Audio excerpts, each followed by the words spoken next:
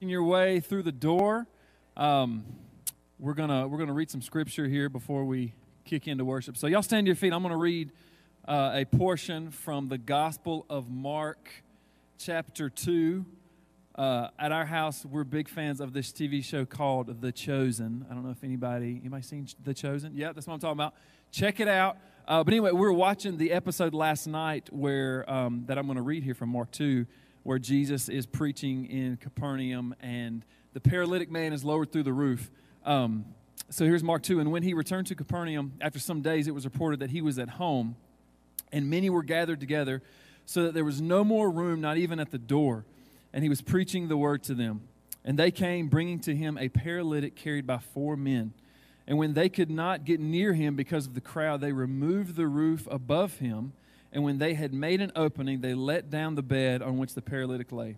And when Jesus saw their faith, he said to the paralytic, Son, your sins are forgiven. Now, some of the scribes were sitting there questioning in their hearts, Why does this man speak like that? He is blaspheming. Who can forgive sins but God alone? And immediately Jesus, perceiving in his spirit that they thus questioned within themselves, said to them, Why do you question these things in your hearts? Which is easier, to say to the paralytic, Your sins are forgiven, or to say, Rise up, take your bed, and walk? But that you may know that the Son of Man has authority on earth to forgive sins, he said to the paralytic, I say to you, Rise, pick up your bed, and go home. And that man rose and immediately picked up his bed and went out from uh, before them all. They were all amazed and glorified God, saying, We never saw anything like this. And so, this is our hope. This is um, our hope on which we stand is this man, Christ Jesus, uh, who can not only forgive sins, uh, he, he does that which only God can do. Um, and that is because he is God. So, King Jesus, we love you, Lord. Uh, we're here for you today. Uh, Holy Spirit, will you come teach us more about yourself, uh, more about your goodness, more about your gospel, uh, more about us and what that looks like for, for each of us, Jesus. Yeah, we love you.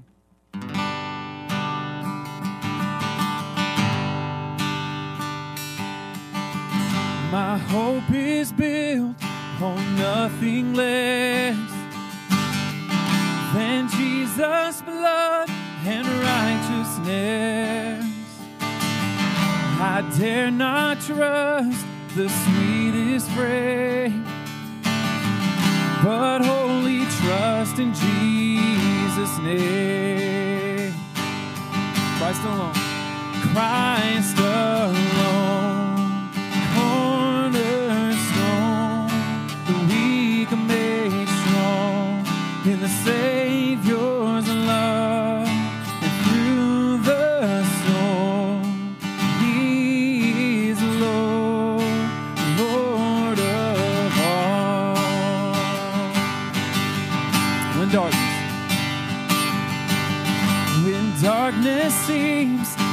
Hide His face, I rest on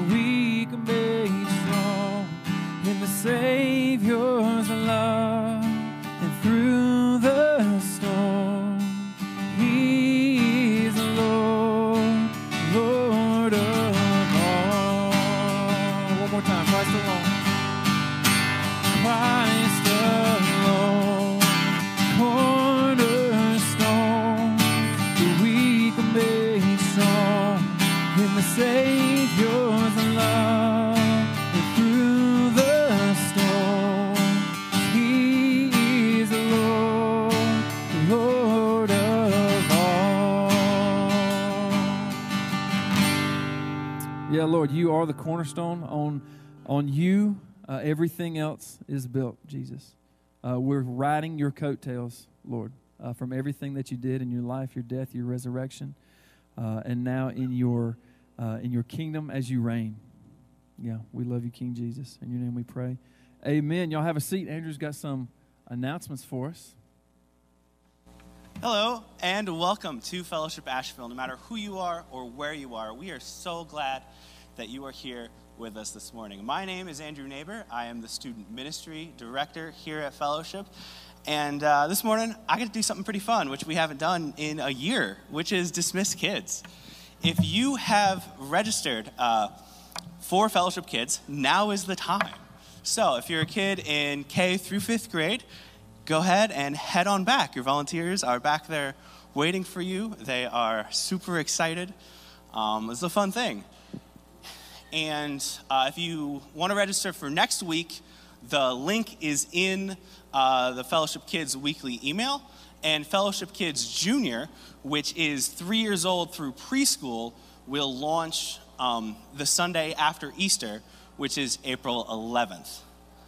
And uh, speaking of Easter, uh, this year for Easter, we're going to have two services one at 9 a.m. and another one at 11 a.m. So go ahead and register for whichever one uh, best fits your schedule. We're also still going to be uh, broadcasting our 11 o'clock service at 11. So uh, there you go. And uh, one thing that we're doing that I'm pretty excited about is um, we're taking a mission trip to Haiti uh, this fall in October, from October 3rd through 8th. And we're going to have an interest meeting about that uh, on March 22nd at 7 p.m. Uh, I'm going to go on the, to the interest meeting. I'm, I'm pretty excited about it. Uh, missions is something that I'm passionate about.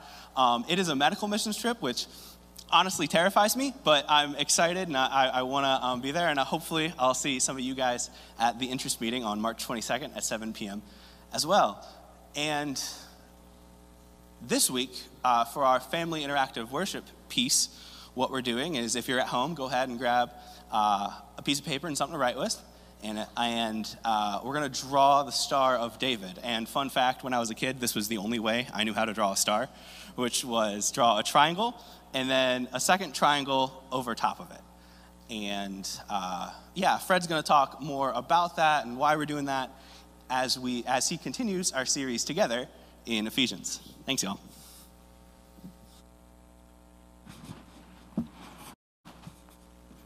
Thanks, Andrew. Good morning. How are y'all doing?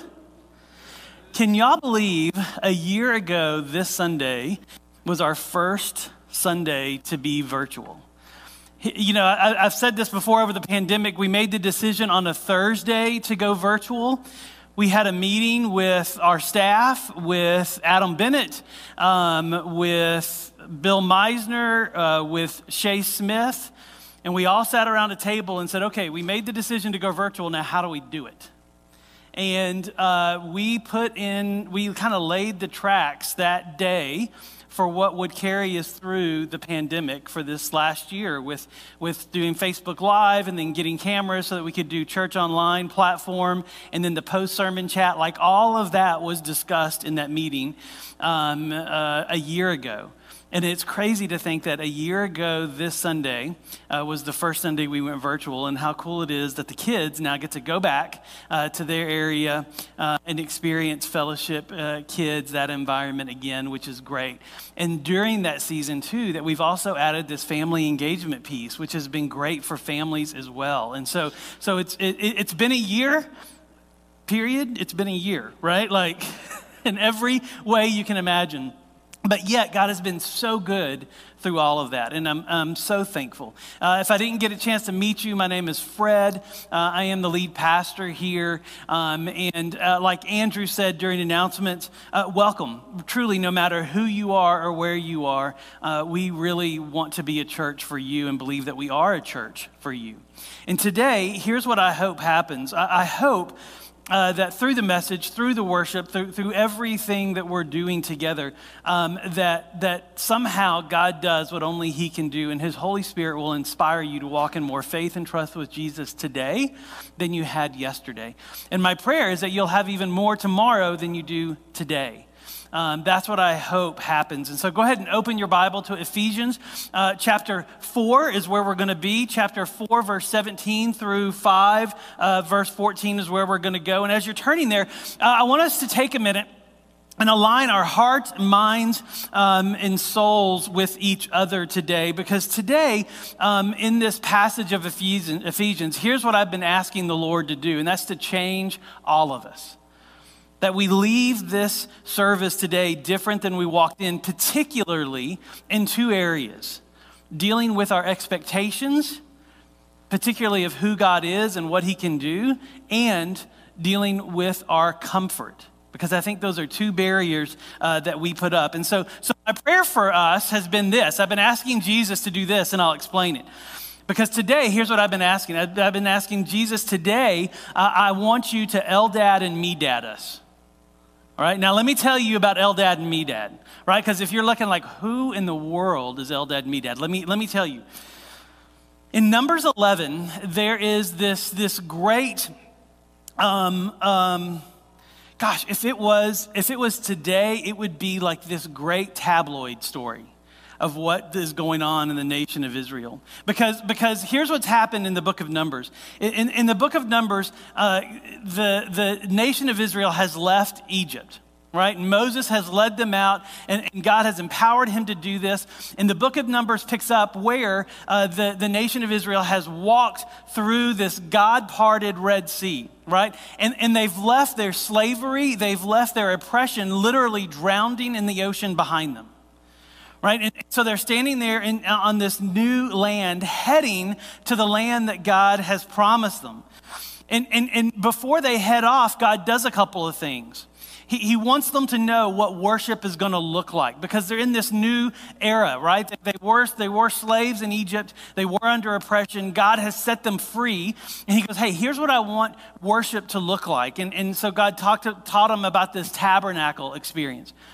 And then he said, and by the way, not only am I going to, you know, point out the promised land to you because it's promised, I'm going to walk with you. Right? Not only am I going to lead you in front and behind, but I'm going to be with you every step of the way until you get to the promised land. I'll, I'll lead you by a pillar of smoke by day and, a, and a, a, pillar of fire by night. You will never know that I'm, I'm, I'm not there. I'll always be there. And I'm going to feed you as we go. I'm going to give you this stuff called manna. And they had never experienced manna before, and, and, and nobody has experienced it since. We have no idea what it is. All we know is that God provided it, and it was filling and sustaining. And they had to, to harvest it every day. Like it didn't, it, didn't, it didn't last except on the day of Sabbath, it did. So, with all of this, the nation of Israel heads off. And, and what is the first thing that you think that nation does? After God does all of this, do you think as they head off that they celebrate what God has done? Do you think, do you think that maybe they praise God for what he's done? No. In, in Numbers uh, 9, 10, 11, here's what you see. The first thing they do is they complain. Right? After God does all of this, the first thing they do when they set off is they complain because they miss Egypt.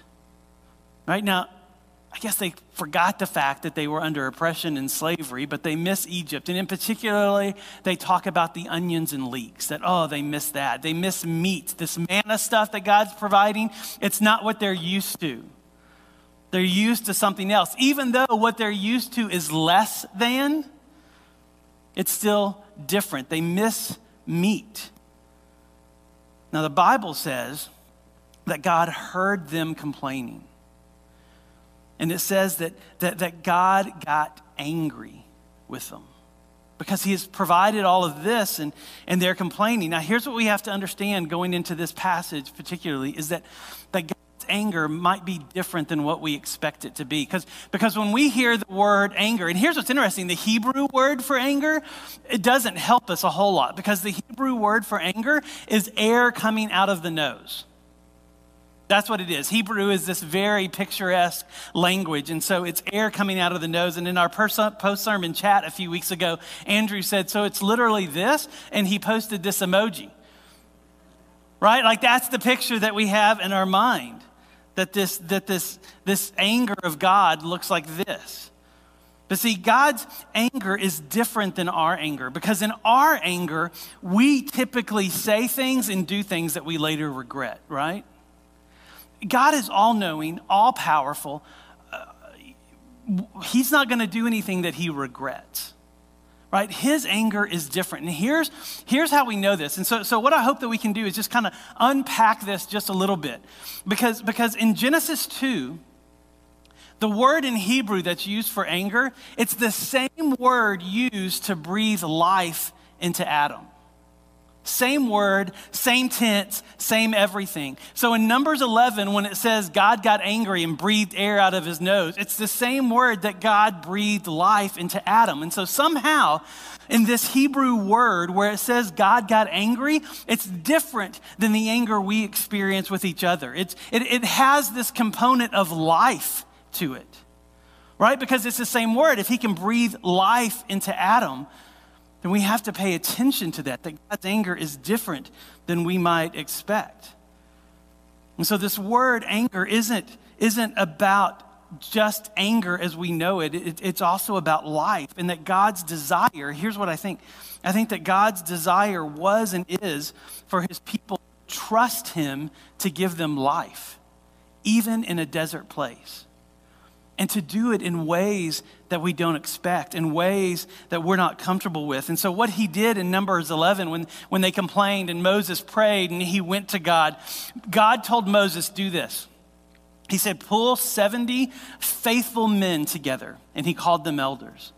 And he said, Bring them to the tabernacle, bring them to me, and my spirit will fall on them, and they will prophesy, and, and I will empower them, and these men will help you deal with, with the people of the nation of Israel. And so they do. These men gather together, and, and the Spirit of God falls on them, and they start prophesying. And man, it, it had to be this incredible, really, really cool moment. But something else happened. Eldad and Medad happened. See, Eldad and Medad weren't part of that 70 people gathering at the, at the tabernacle. For some reason, they couldn't leave their tent. They were, they were stuck at home. Anybody been stuck at home lately? Right? That's Eldad and Medad, stuck at home. And yet, when the Spirit of God fell on those 70 elders, the Spirit of God also fell on Eldad and Medad, and they started prophesying, even though they weren't with everybody else, even though they were doing something different than what Moses expected, different than even what the people of Israel expected. Because when Eldad and Medad started prophesying, do you know what the, the nation of Israel did, what the leaders of Israel did? They didn't go, man, that is so cool they ran and told to Moses. And they said, Moses, you've got to see this. Like these guys are doing something that God didn't say. And in that moment, what happens is that Moses reflects God's heart in this and doesn't burn with anger, doesn't discipline them. Moses says, Gosh, I wish everyone would do this. I wish the entire nation would prophesy. I wish that everyone would be filled with the Spirit no matter who they are or no matter where they are. In other words, God is saying through Moses, listen, y'all, God works outside of our comfort and our expectations. Because it's comfortable being with the 70 in the tabernacle. That makes sense. That's what we expect God to do. It's uncomfortable when God does something beyond our expectations. It's uncomfortable when God does something different than we expect Him to do. And Eldad and Medad show us that God works beyond these barriers of comfort and expectation that we put up. Right? Because when we expect God to do something, we get uncomfortable if He does something else. Uh, that can be a barrier that we put up. And, and God works beyond those barriers. And so today, I would love to see those barriers of comfort and expectations come down so we can all see God work in unique ways in our life so He can Eldad and Medad all of us. And change us and grow us in, in every area. Well, let's look at Ephesians 4, verse 17, because it says this. So, so this is the letter of Ephesians. Paul is writing to this church in Ephesus, and, and, and one of the themes is unity and, and tearing down barriers that separate us from, from God and us from each other. And, and Paul says this Now, this I say and testify to the Lord that you must no longer walk as the Gentiles do in the futility of their minds. And so, what does Paul mean by this? Well, luckily, he explains it. Verse 18. For they are darkened in their understanding, alienated from, from the life of God because of the ignorance that is in them, due to their hardness of heart. They have become callous and have given themselves to sensuality, greedy practices of every kind of impurity. And so Paul says, listen, there's two ways that you're going to you're going to live your life. You're going to give your life to something, either your own pleasures right? That's what he's talking about there. Or look at this, because what's the next word? The next, the next word in the next verse is but. So there's a shift. But that is not the way you learned Christ, assuming that you heard about him and were taught in him as the truth is in Jesus. Y'all repeat that after me. The truth is in Jesus.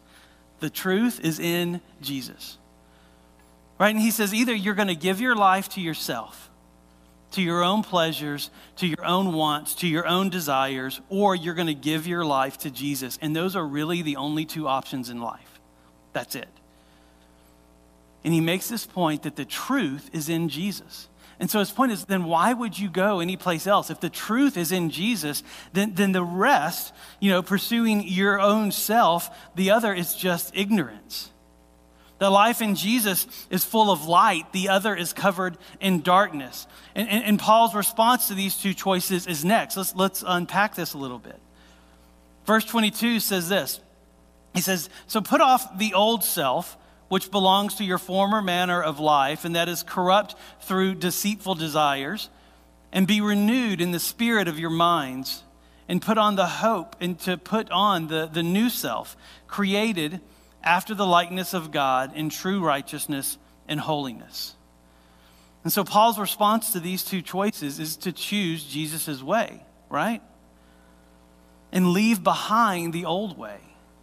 Leave behind the old way of just pursuing your own pleasures and your own wants and your own desires, but instead choose Jesus. It's, it's the Israelites in, in, in the desert. He's saying, leave behind Egypt right? Leave behind the things that you're comfortable with in Egypt, the, the onions and the leeks, and instead choose the life that I've laid out in front of you. Choose Jesus.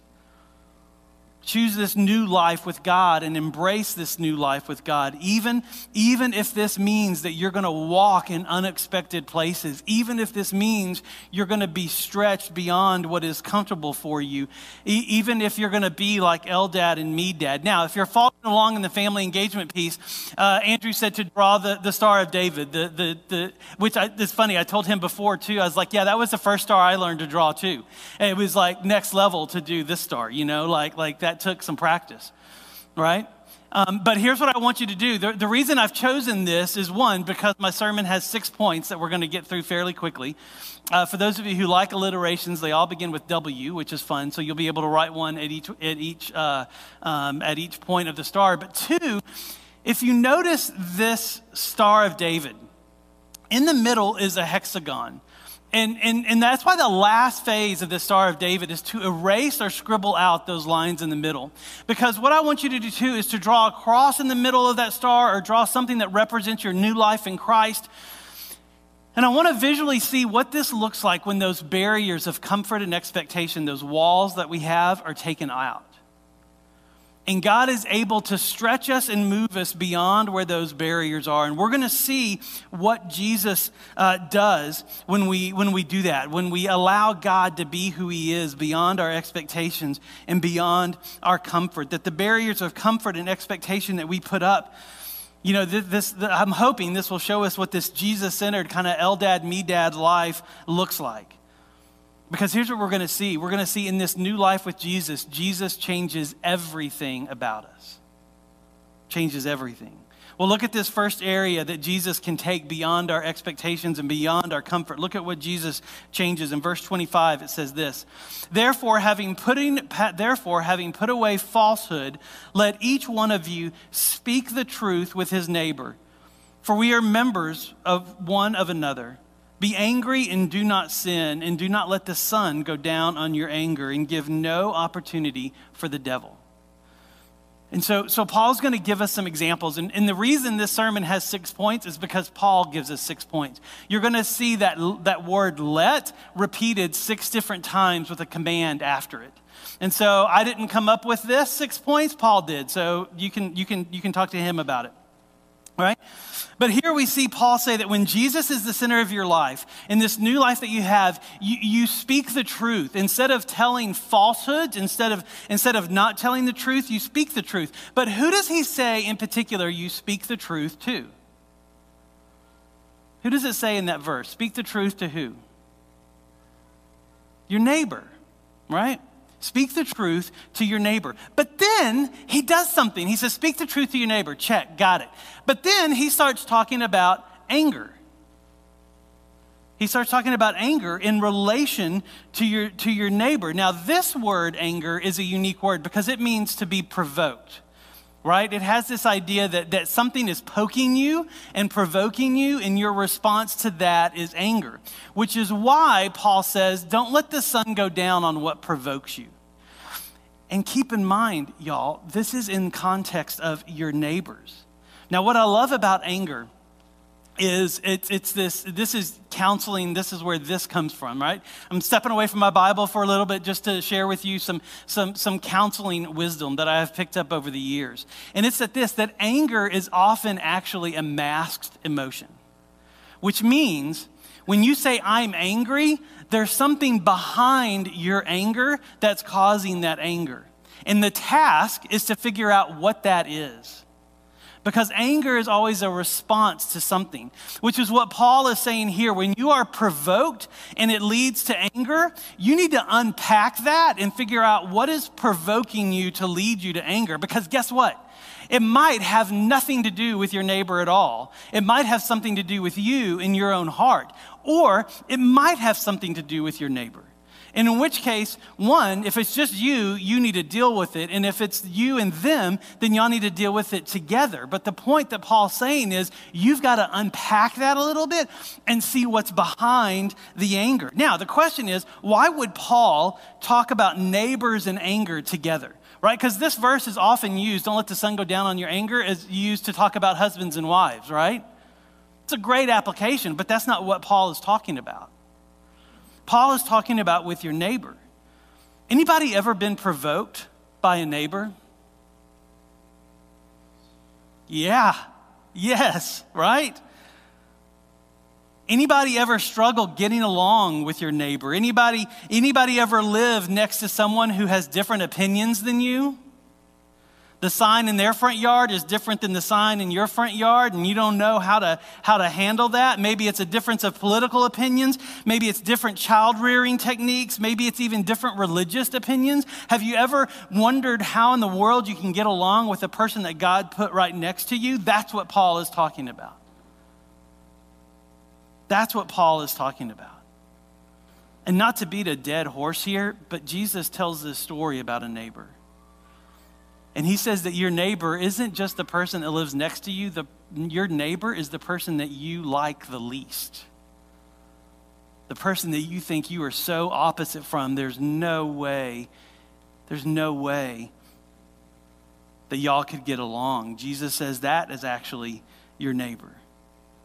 And so Paul is saying, listen, you've got to deal with what provokes you, and you've got to speak truth, not just to your neighbor, but also to yourself about that.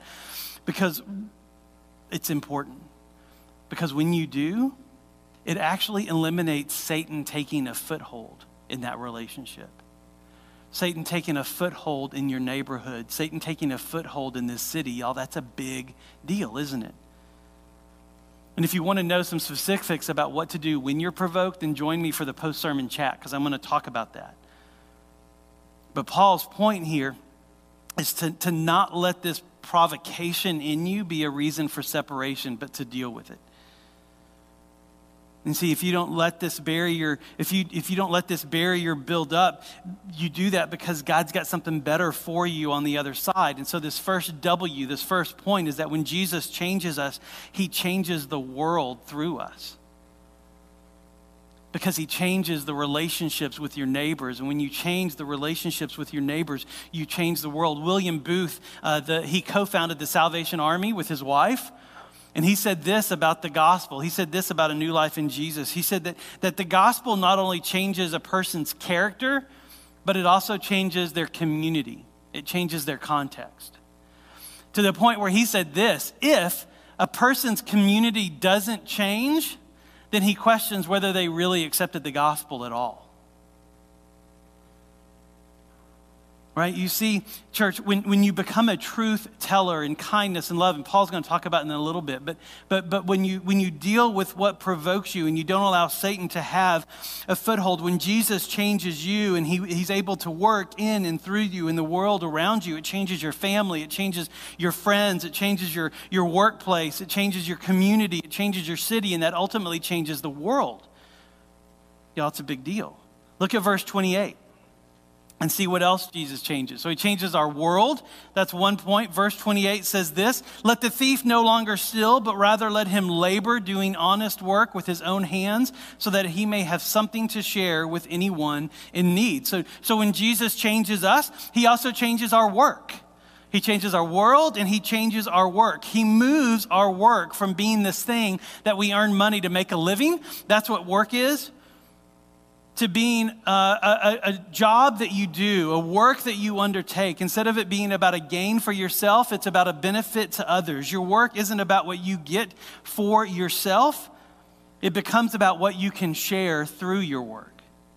You see, this barrier of comfort says, I need. I need these things to be able to make life good. And that barrier of comfort often has this phrase called standard of living.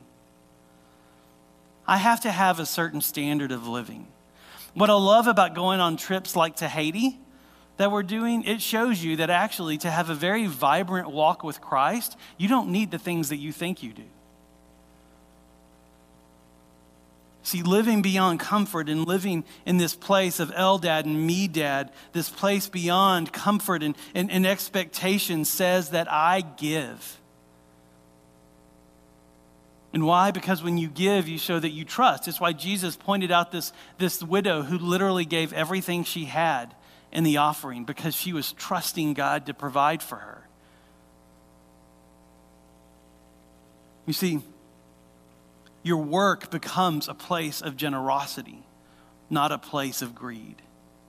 When Jesus is allowed to get beyond this barrier of comfort and expectations. Look at verse 29. Verse 29 says this Let no corrupting talk come out of your mouths, but only such as good for building up as fits the occasion, that it may give grace to those who hear. And do not grieve the Holy Spirit of God, by whom you were sealed for the day of redemption. And this word grieve, by the way, of the Holy Spirit is similar to the Hebrew word in anger. It kind of captures that same idea. That God's, when He lays life in front of us and we choose a different path, that, that God's anger might be more about sadness for us and grief for us because He's shown us everything that we need. And so, do you see what changes here, though, in this? Like, not only is it your world and not only is your work, but here we see words change. They go from tearing others down to building others up. They show grace and they're spoken at an appropriate time. And so, when Jesus changes us, he changes the words that come out of our mouth. Now, I want to speak about appropriate time real quick because we, le- we live in a, in a divided culture right now, don't we? We live in a cancel culture right now. And I've spoken about this before, and I will probably still keep speaking uh, to it. And, and there are times where it is right and good to speak up and to let your, your, your biblical, God centered, Christ centered views known with grace and with truth. That's what Paul says. But there's also an appropriate time to keep your mouth closed. Has anybody lately had a spirit filled, God empowered moment where it took all of that just to keep your mouth shut? I have. Right? That's what Paul is saying. When Jesus works in our lives, we know when to speak and we know when to be silent. And when the person that we're talking to or the person on the other side of that conversation, they, when they don't want to hear your opinion, they don't want to hear the truth as you see it, that is when you just close your mouth. And you listen with understanding and you listen with empathy, but you just keep quiet. And there's another tension point with our words that I think is equally as eh, difficult during this time. That when you and me, as Jesus followers that we can get, actually get comfortable tearing people down, can't we? We can get comfortable pointing out every flaw in them, every, everything wrong that they're doing. And, and here's what's interesting in, in church, we've got to stop doing this. It is a trick as old as there is time. That whenever we don't like somebody's message, but we can't figure out a smart enough way to disagree with it, we attack the messenger. Whenever you see someone attacking a person, chances are they've already, they're already off the rails. Right? Our job is to build others up, not tear each other down. Now, I know some of you are so justice minded, and, and, and whatever numbers on the Enneagram you are, you're freaking out now because you're like, yeah, but I'm right and they're wrong. What do I do? Grace and truth. And maybe you keep your mouth closed until the right time. And when the right time is there, you speak with what? Grace and truth. Grace and truth. Someone once told me that you can be right while not being righteous. Right? You can have the right words and you can have the right truth, but you can deliver them in a way that is not godly and not the way that God intended us. Another person told me this don't ever wrestle with a pig because both of you will get muddy and only one of you will like it. Right? Paul is showing us that we, we can tear down this barrier of comfort being right, because that's what fuels that a lot.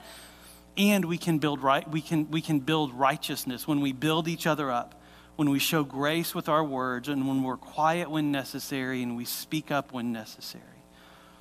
When we let God show up beyond our comfort and expectation in our words. Look at this next one, verse 31. Let all bitterness and wrath and anger and clamor and slander be put away from you, along with all malice. Be kind to one another, tenderhearted, forgiving one another, as God in Christ forgave you. Now, listen, we all have emotional scars and wounds right? And those emotional scars and wounds, we've all been hurt by others, right? We're humans, and every relationship you're in with another human is a messy relationship, period. And in those relationships, we can get hurt. We can get hurt by other people's words. We can get hurt by other people's actions. And I need you to hear me. I am not excusing those things. I am not saying that's okay. But here's what I've seen in the church world, and maybe this is true in the other, you know, in the non-church world, but I just know the church world better. I know that we can hold on to hurt because it feels good.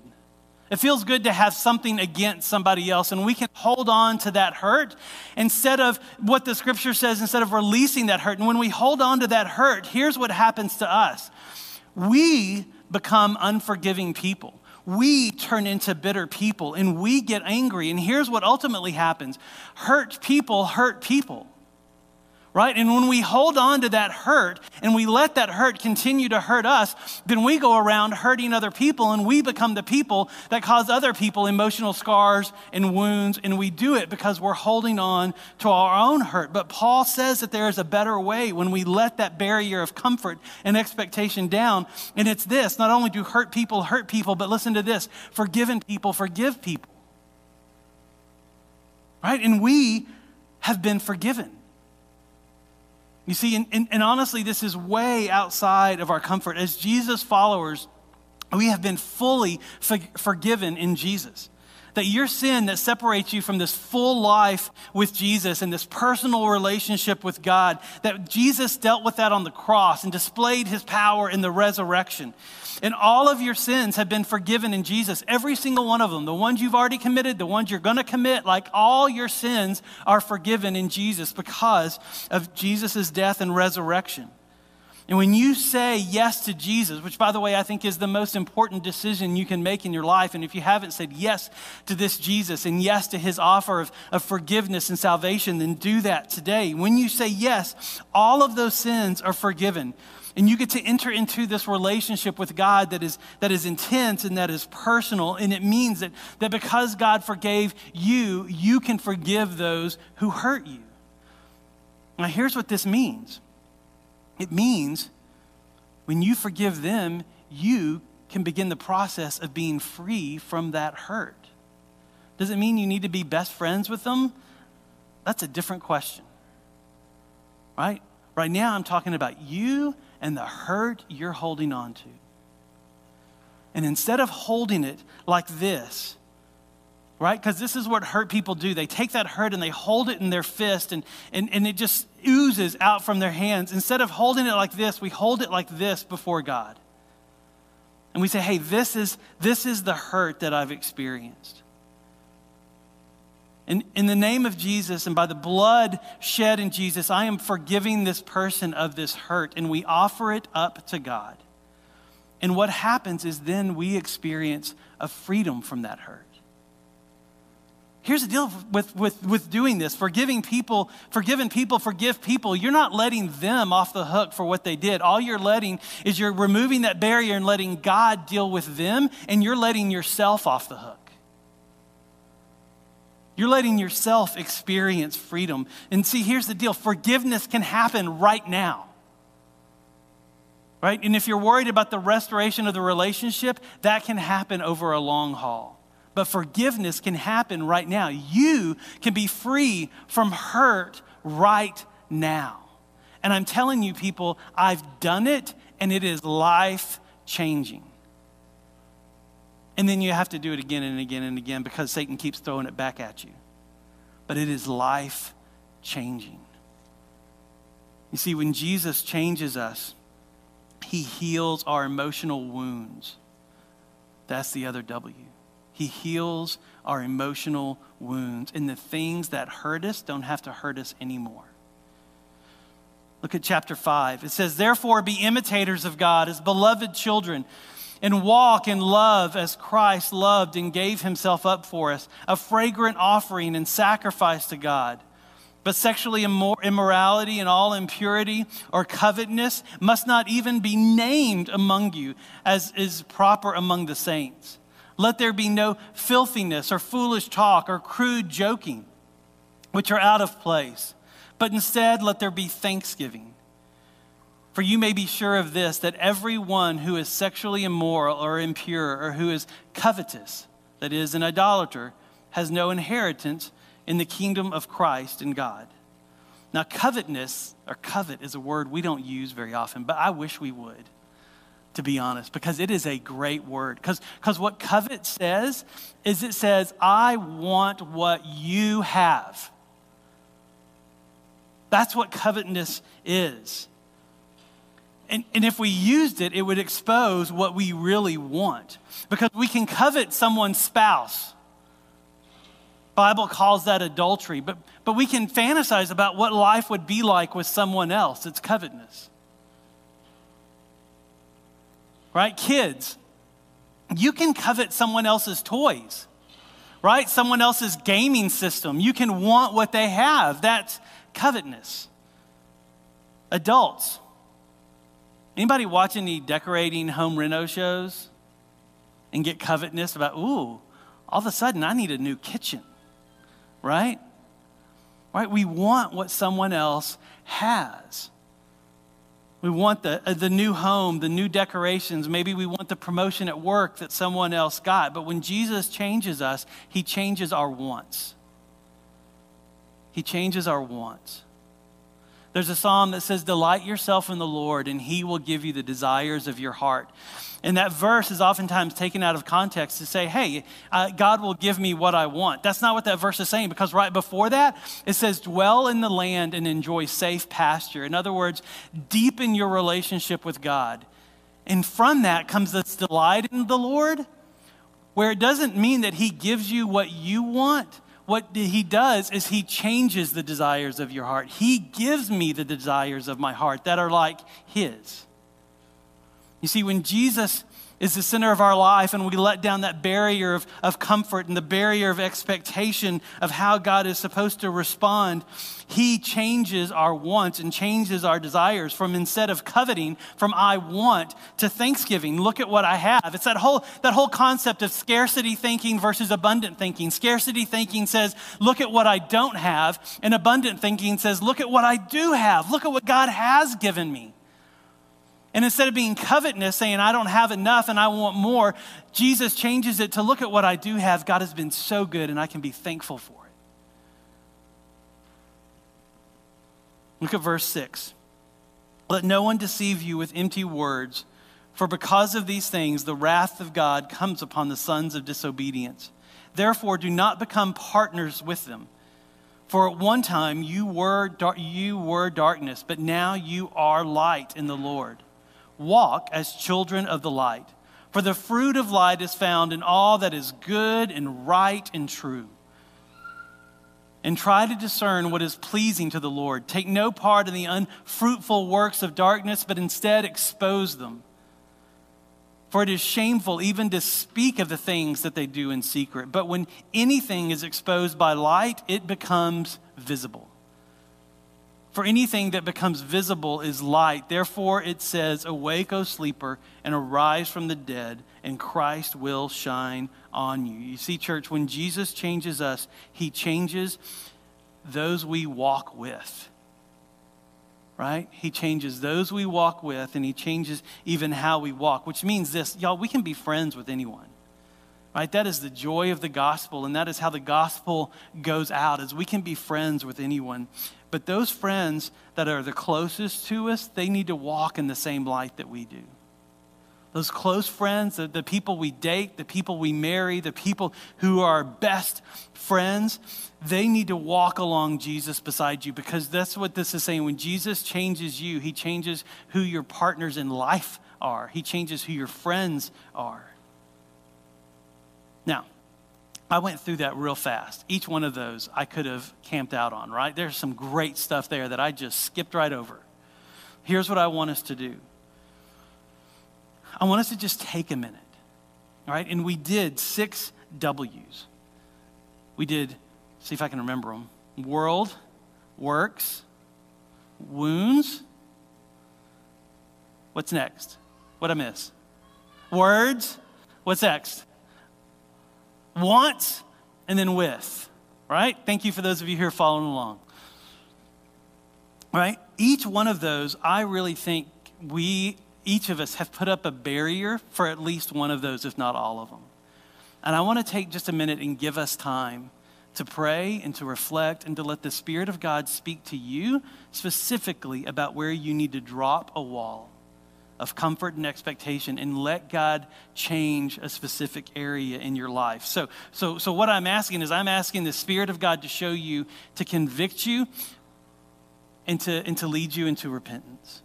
And so we're just take a minute and I'll pray and I'm going to lead us through some prompts and then Cam will come up here and finish this up in, in worship today. Jesus, uh, man, this letter in Ephesians is so good and so rich and so deep, and there's so much. And, and, and I feel like this is just a, a rock skipping over the surface uh, uh, of a pond. Um, but yet, Jesus, it is your word.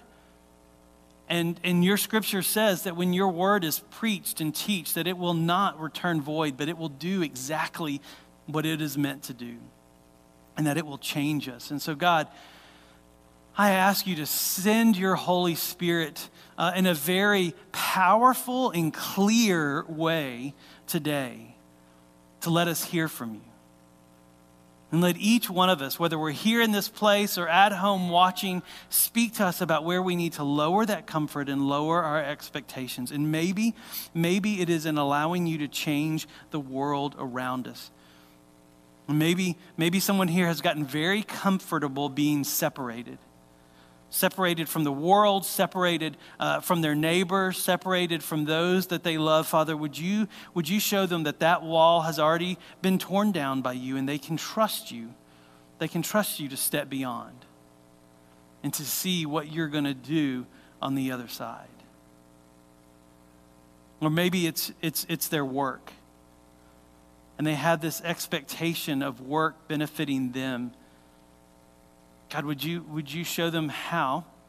their work can actually be for the benefit of others, how their work can fuel generosity, how their work can, can give to, to things that you are doing uh, far beyond uh, what they could do in their physical uh, efforts. But, but maybe they could fund works that are going on all across the world, works that are going on here in, in, in Asheville. Show them that. Or maybe it's their words. Maybe, Maybe we've grown comfortable tearing people down, or we've grown comfortable speaking when we need to be quiet. Would you help us to use our words to build up and to give grace?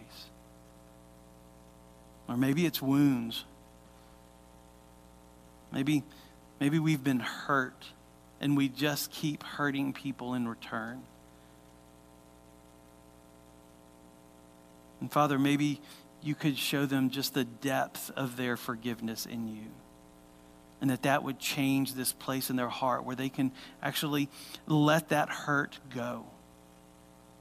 And let it go into your hands, not just out into the air, but let it go into your hands so that you, you can deal with it. Maybe it's their wants. Maybe we believe we'll be more comfortable with what someone else has than what you have given us. Jesus, would you build our thankfulness for what you have given us? Help us to see clearly what you've given us. Or maybe it's those that we walk with, that, that other Jesus followers disappoint us time and time and time and time and time again. And, and the people that have hurt us are the people that say that they follow you, and it's really confusing to us. Well, Jesus, I ask that you would blow our minds with your power, blow our minds with who you are. And don't let us get confused about who you are with who your people are, because you are better, because we need you. So, Father, may we sit in the truth that is in you, Jesus. In Christ's name I pray. Amen. Amen. Y'all stand up as we respond and worship.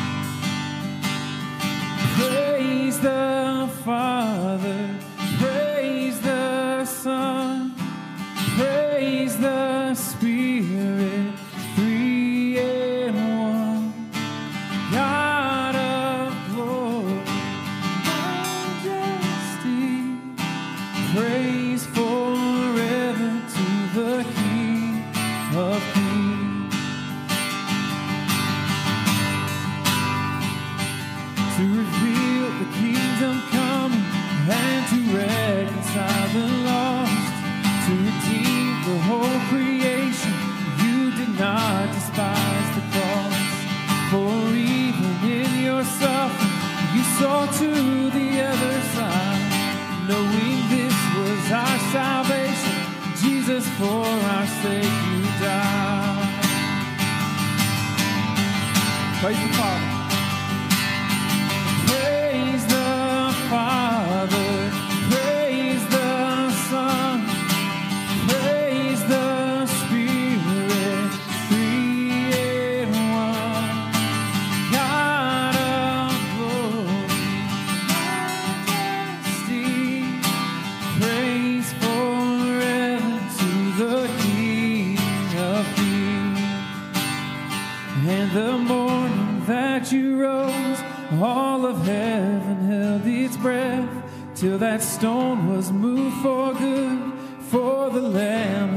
conquered death, and the dead rose from their tombs, and the angels stood in awe. For the souls of all who'd come to the Father are restored, and the church of Christ was born, and the Spirit lit the flame.